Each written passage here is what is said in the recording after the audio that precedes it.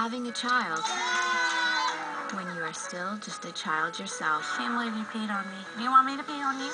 Yeah. No, you don't.